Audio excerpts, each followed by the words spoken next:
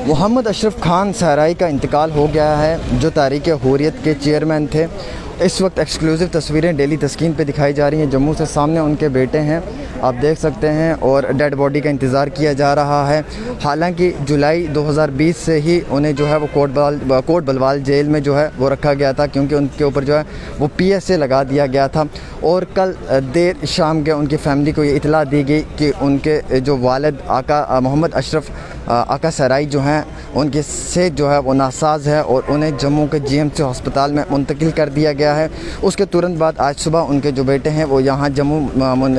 Jammu medical college पहुँचे और उसके बाद अब जो है उनकी मृत्यु हो गई है और जम्मू के जो डिप्टी कमिश्नर हैं, अंशुल गर्ग जी, उनकी तरफ़ से भी ये कुछ न्यूज़ चैनल्स को इतला दी गई है कि उनकी जो बॉडी है, उसको पूरे तरीके से श्रीनगर जो है मुंतकिल किया जाएगा विद प्रॉपर एसओपी के साथ और इसके लिए जो है एक कमेटी पूरे तरीके से जो है पहुँचाने की कोशिश करेगी। और साथ ही साथ मैं आपको ये बताना चाहूँगा कि जुलाई 2020 में उन पर जब पीएसए लगाया गया था पब्लिक सेफ्टी एक्ट उसी दौरान में उन्हें जो है वो कोटबाल कोट बलवाल जेल में जो है वो रेफ़र किया गया था। और उसके बाद अब लंबे अरसे से वो वहीं पर थे, लेकिन कल शाम को जब सेहत ख़राब हुई तो उनको नज़दीकी अस्पताल जम्मू के मेडिकल कॉलेज में जो है वो रेफ़र कर दिया गया। और अब ये इतला मिल रही है और उनके बेटे के हवाले से खबर आ रही है कि उनके वाले साहब को जो है वो इंतकाल हो गया। हालाँकि ये भी इंफॉर्मेशन मिल रही है कि जो doctor A D S Manas है मेडिकल स्टूडेंट हैं, जो जम्मू मेडिकल कॉलेज के उन्होंने ये कहा कि उनका जो रैपिड टेस्ट है, वो भी नेगेटिव आया है और उसके बाद जो उनका R T P C R है कोविड नाइन्टीन का अभी उसका इंतज़ार किया जा रहा है। साथ ही साथ ये भी बताया जा रहा है कि एक लंबे अरसे से जो है मैं आपको ये बताना चाहूँगा कि इंफॉर्मेशन के अनुसार ये भी बताया जा रहा है कि एक लंबे अरसे से जो है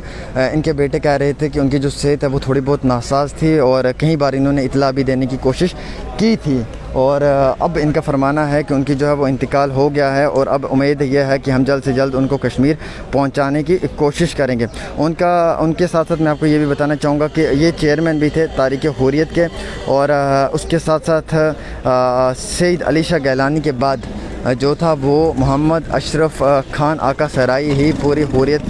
को देख रहे थे। लेकिन जुलाई 2020 के बाद जब इन पे पीएसए लगाया गया, उसके बाद ये कोट बल, कोट बलवाल जेल में थे। और अब कल शाम को जब सेहत ख़राब हुई तो इन्हें जम्मू जो है वो रेफ़र कर दिया गया। अब एक्सक्लूसिव तस्वीरें दिखा रहा हूँ कि इनका इंतकाल जो है वो हो गया।